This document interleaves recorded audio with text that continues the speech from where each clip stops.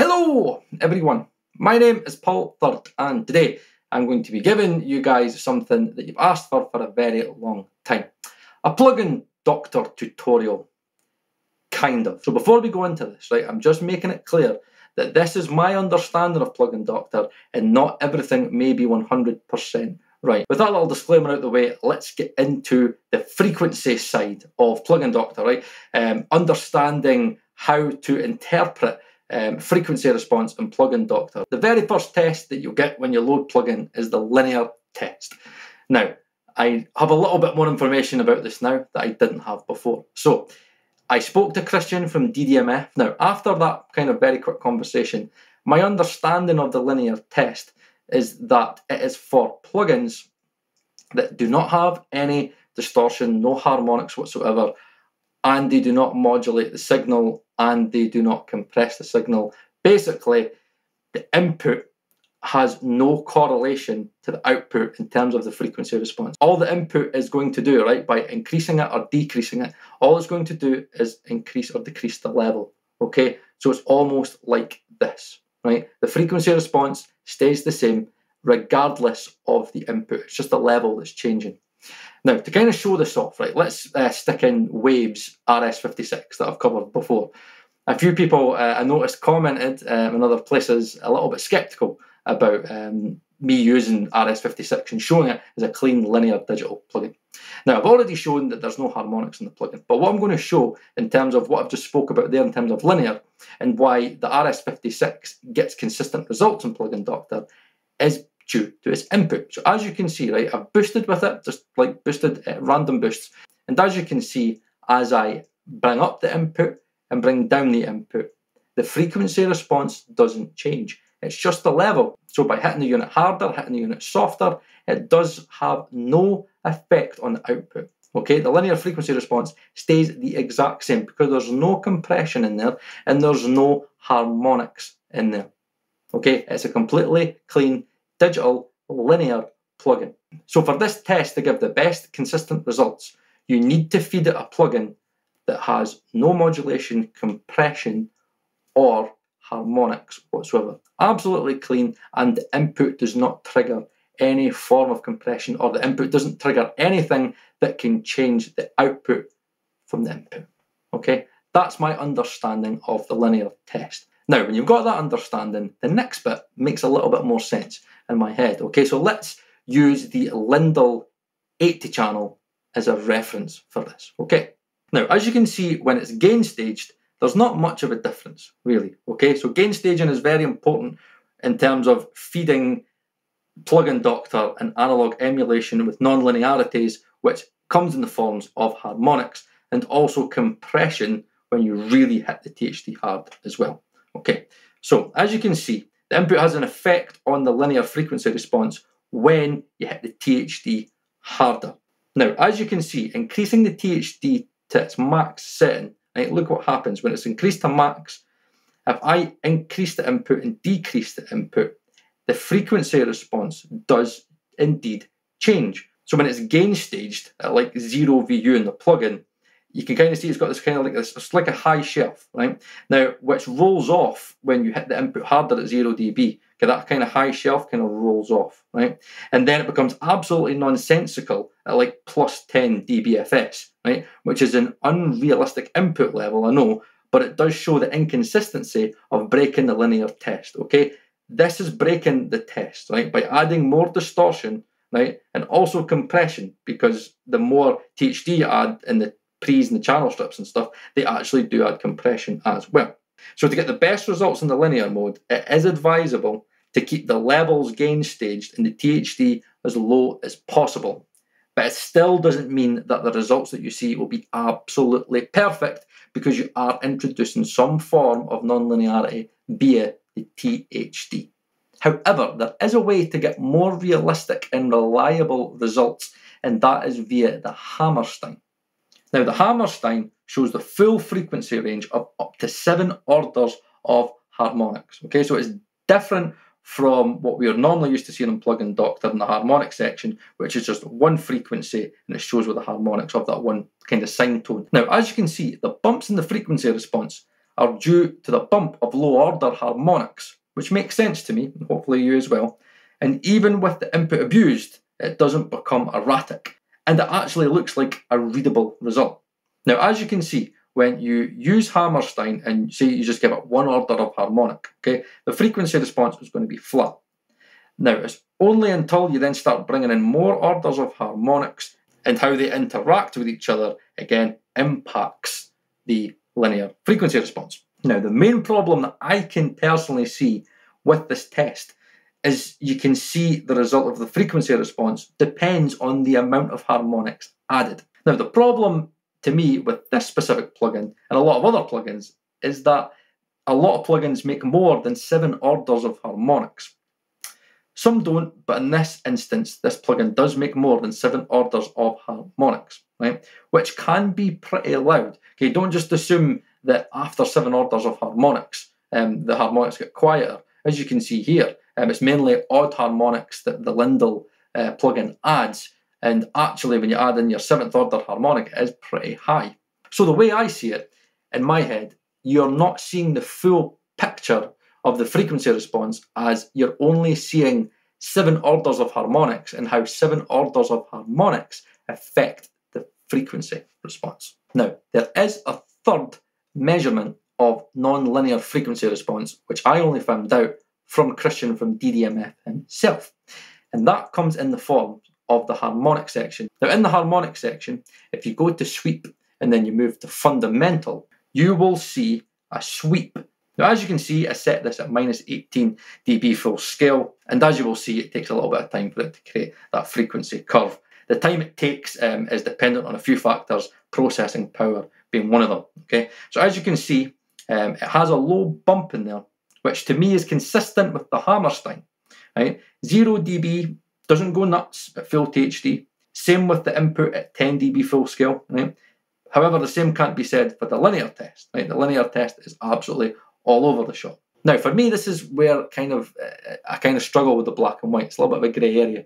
Some people may interpret the Hammerstein and the fundamental sweep differently. Okay, and another thing I'll mention very quickly is that the um, the curves all look slightly different because the uh, the graph itself is slightly different. So the frequency plot will look a little bit different. Okay, just in case you're like that doesn't really look exactly the same. That's why. Now, in my opinion, what I'm seeing in the fundamental sweep kind of relates to what I'm seeing in the Hammerstein, and I'm kind of tying the two of them together. Um, for me, the fundamental sweep makes more sense when I see what's going on in Hammerstein. So, in my opinion, the two of them do correlate quite well, and I'm going to take a guess, and then this is a guess, that the fundamental sweep is all of the harmonics, the entire frequency range of the harmonics. I can't say it for sure, but that's my guess, right? That's my guess. Now, another reason why I feel that the fundamental sweep may be showing consistent results as well is when you hit it and feed it with compression. Now, to kind of give a little bit more context to this, I'm going to use the Tone Empire Model 5000 because it's got saturation and it's got compression. I can't remember which is which. I think it's SSL compression with like an API transformer or op amp or whatever it is, or it may be the other way around. I know it's like a blend of SSL and API. So we've got saturation and compression. So I'm going to use this as a little bit of a test to try and give a little bit more context to how I'm understanding what I'm seeing in the fundamental sweep. Now, as you can see, the Tone Empire has quite a kind of a flat frequency response when it's not compressing. When it is compressing, what you'll notice is that there is a little bit like of a high mid bump, kind of mid to high bump in there, okay? So it is changing, right? The compression is changing the frequency response. Now, why do I have a suspicion that what I'm seeing may be correct? Now, if we move to the Hammerstein, what we can see is that when the compressor is engaged and it's actually compressing, it does make more harmonics, which kind of makes a little bit of sense because in the fundamental sweep, we can see that when the compressor is active, so maybe like 5 to 7 dB compression, we're getting a little bit of a bump in like the mids and the high end. Again, this is all kind of guesswork for me. I can't say for fact, right? None of this is fact. It's all my interpretation. As you can see, I'm trying to correlate everything. I'm trying to like, it's almost like a jigsaw puzzle, and I'm trying to see how each element kind of pieces together so it can give me a better understanding of what I'm seeing. So what we've seen there are kind of like my tests to kind of prove to myself and my belief that the fundamental sweep is actually a very good representation to use when using like a non-linear style plugin, like an analog emulation that has forms of compression in THD. Now, one last feature that I found just when I was mucking about, which might be quite handy for you, is testing oversampling. Okay, and that's another part of like frequency response, and it's quite cool. Now, before we end, I'll just show you this quickly. Okay, so as you'll notice, with the Lindell, right, when you put the oversampling on, what you'll notice is that in the harmonics, it filters out the highs, right? It rolls off the high order harmonics. So as you can see, it's a massive filter, okay? It's a massive low pass filter. So rolling off the highs, so it's rolling off the highs of the frequency response and also the highs of the harmonics. Now, that's very, very common, and you'll know this already, but it's still quite handy to be able to see it. Because the good thing is when you're using the fundamental sweep, you can see it as well, how it goes to like, but without oversampling, it'll just go straight to Nyquist. But what's cool with the um, fundamental sweep and the oversampling, you actually see, you actually see the low pass filter, which is quite cool. However, when I was looking at the Tone Empire plugin, I thought I was going to do the same thing. And I found, which I love stuff like this, is geeky, that they are doing something different and possibly loads of other developers do this as well. Now, before I show you, right, this is just kind of in my head how this works, okay? So what I think, again, it's not concrete, right? What I think that they're doing, that with oversampling off, they've picked a level of like higher order harmonics that's just enough not to create audible aliasing. And then what they do is every time they add in more, like the oversample, I think like they increase Nyquist and they widen the frequency spectrum, it then allows them to add more saturation each time they widen the frequency spectrum. And then each time you oversample, it just keeps on adding more saturation and more saturation because it can, because it's widening the frequency spectrum each time, which is kind of like widening Nyquist. Nyquist is getting higher in the frequency range, thus there is no aliasing. And that's what I'm thinking, because that's what I'm seeing. As you can see, with every oversampling move that you do, you get a bump in harmonics. There's no filters going on. You can see it's going right up to Nyquist. But every time you oversample, it increases, like the high mid saturation. So it saturates more every time you oversample. So in my head, the best sound is going to be at max oversampling because at that point you actually are getting the most saturation out of the plugin, which is what I would imagine would be the intended result from Tone Empire. And this massively differs from Lindell because the Lindell saturation stays the exact same. It's just it's got a filter on it. Saturation is the same, but it filters, right? Like times two, times four, times eight, blah blah blah. And in terms of that filter, um, I don't know. I don't know how it works. I just know that the more harder you hit the Lindell, you may need um, higher orders of oversampling, depending on how hard you hit it. Right? I, I don't know enough, and that is how I normally think that plugin developers do it. But in Tone Empire's case, they didn't do that. I can see there's. It doesn't look like there's any filtering. I can see it from the Hammerstein and I can see it from the fundamental sweep that there's no filtering going on, but the saturation is increasing, which is quite clever because in the Lindell you'll get audible aliasing. There's no way around it unless you oversample it. Where Tone Empire's kind of been quite crafty and thought, know what we'll do? We'll just like add in as much saturation as you need for it to not alias. And then in terms of us giving you more saturation, you need to oversample it, which will cost you more CPU. But if you want that kind of analog saturation sound, then it'll hit your CPU and you've got to make that decision. But in a sense, you're not really losing on quality by not using the oversampling. You're not getting as much saturation, but you're still getting saturation, but you're not getting any aliasing. You're still getting a little bit of saturation. That's what is in my head. That's what I'm seeing. And that's what I'm correlating what I'm seeing. And that there that you've just seen is kind of like what I do to test plugins. I cannot give a concrete conclusion because in the end I'm trusting the analyzer, right? That I think I'm getting more consistent results, but I can't say for sure. But what I can say is that I've seen this in an analyzer, and eh, this is kind of what I see. And from this analyzer, this is the results that I've got. I'm not going to base my conclusions 100% on this, but that is what the analyzer says.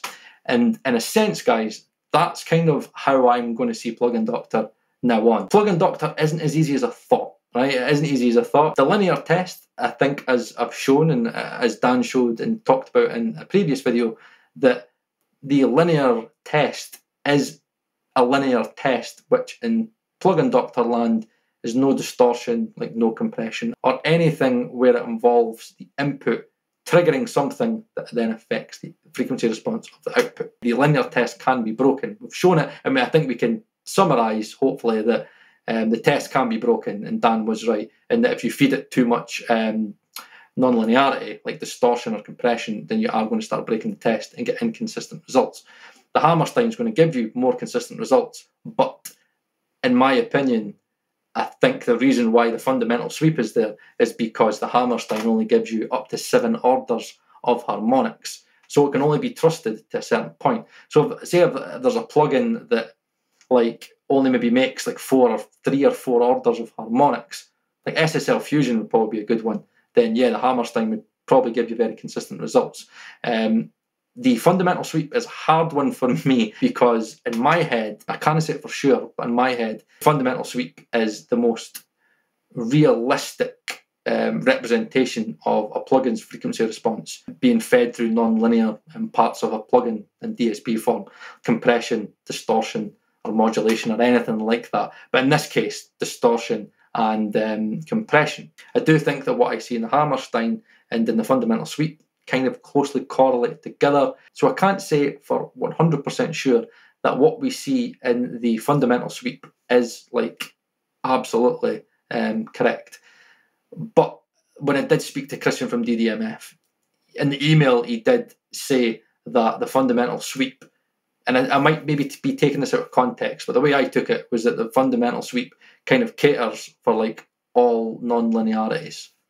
That's the way I took it. Um, I'll put, I'll stick it here, right? I'll stick it. That's what he said. Okay, take that as you will. Okay, take that as you will. Okay, so that's kind of as much as I understand about kind of frequency response of plugins and how to use it and how to use certain parts of plugin doctor and how to interpret certain elements and how to use them to get a better picture of what a plugin is doing. So, if you like the video, please like the video because this stuff takes time. Remember, Dundee and Angus College, okay, I do work fucking five days a week. I've only got a short amount of time to do the YouTube stuff, remember? So please like the video if you appreciate the effort that I put in.